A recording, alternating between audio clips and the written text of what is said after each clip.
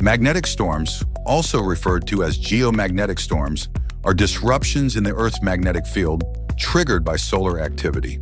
The sun continuously releases a stream of charged particles known as the solar wind. Under normal conditions, Earth's magnetic field shields us from this stream. However, when the sun emits a powerful surge of particles, typically from coronal mass ejections or solar flares, this can overpower our planet's magnetic protection, resulting in a magnetic storm.